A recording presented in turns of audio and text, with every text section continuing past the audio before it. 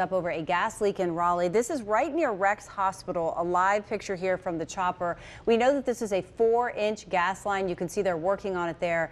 Really good vantage point here. Crews have blocked off the area, but so far there have been no evacuations. Akilah Davis rushed to the scene there and she's been gathering more on the ground. Hi, Akilah. Hi, you know, we were first on the scene here as crews worked to secure this gas leak. We are looking at Raleigh Fire, Raleigh Police, and of course Dominion Energy crews. I'm told the leak is now secure. That's great news. A heavy presence here still along Blue Ridge Road and Ed Drive.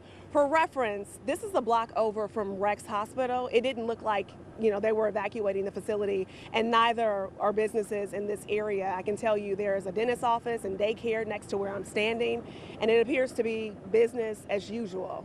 Dominion Energy tells me a third party, unaffiliated with them, struck a gas line, and that's what caused this leak.